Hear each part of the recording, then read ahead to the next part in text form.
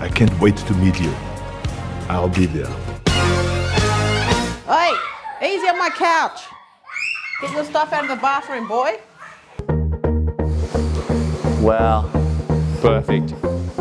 Kylene is a genetic freak. Five, four, Sorry, folks. I want this. three, Nothing is going to get in my way. two. Uh, Destination Arnold follows these two crazy Indigenous chicks, Kylene and Tash, as they sort of claw their way onto the stage, or hope to claw, that, claw their way onto the stage of Arnold Schwarzenegger's inaugural um, Arnold Classic competition, which is a really um, prestigious event in bodybuilding and was held for the first time in 2015.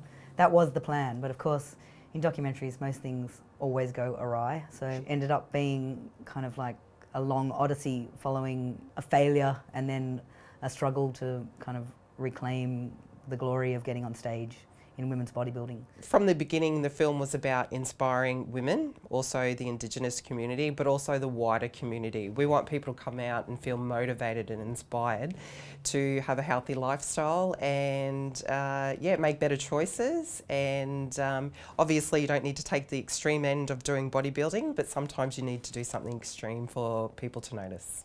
As growing up, I was a very unhealthy child. I think at my worst, I got up to about 100 kilos. I woke up one day and I thought, I don't want to do this to myself anymore. So I, I started going to the gym. I started working out. I did get a personal trainer. I started to lose weight and I was making better lifestyle decisions. And then I started plateaued for a little while and I thought I need to put a goal towards, you know, coming into the gym. So I thought, that's when I thought, yep, I'm going to do a bodybuilding competition.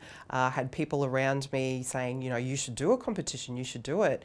You know, you'd be great, you'd be fantastic, and what you become at the end of it is absolutely, you know, great. You're, you're mentally stronger, obviously physically you're stronger, emotionally you're a lot stronger as well. So um, yeah, all of those, it definitely, the journey ticked all those boxes. I've come out mentally, emotionally and physically stronger and yeah, I feel, I feel better for it.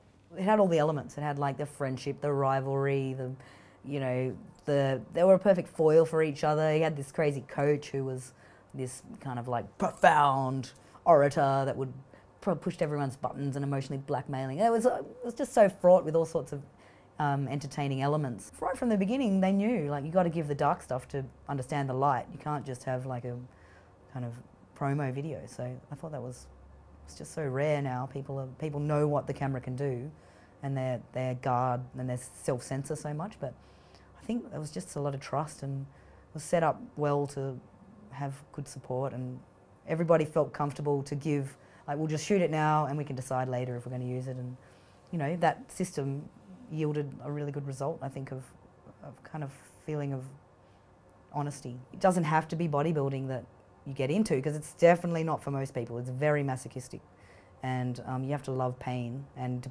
deprivation. But um, if you find something else, like it's ballroom dancing, just get into it and go for it with passion. Um, yeah, I think it's it's a really rousing message. Like you, just like do something for yourself. Yeah, women can do stuff for themselves themselves and Uh, I hope the audience do take away again, uh, you know, being motivated and inspired, and you can anything you put your mind to, you can you can definitely do it.